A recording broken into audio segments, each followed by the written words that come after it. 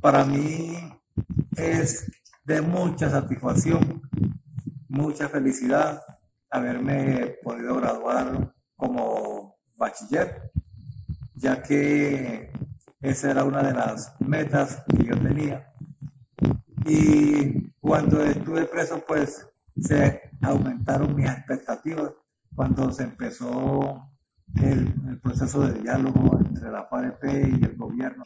Y cuando se firma ese acuerdo de La Habana y ya más ahincado, dije, no, esta es mi oportunidad para, para estudiar.